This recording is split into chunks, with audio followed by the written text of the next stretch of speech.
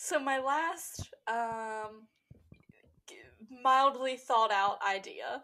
Um again, kind of similar to 8 Mile. Do I think this is a good idea? no, I don't. Is this appropriate for a theme park? No, it's not.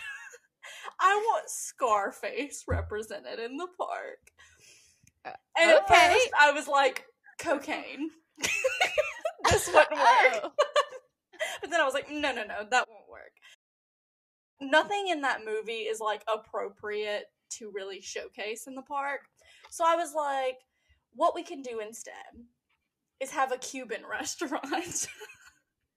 Oh, and it could just have little nods to Scarface here and there. That's actually a really cute idea. Yeah. That is something that I think Universal could implement because they do like being like on the edge of being a little risque. yeah. Like they like they like to be like, well, we said this is we we said your meal came with a coke. and oh my gosh, all the employees would wear like little mobster hats.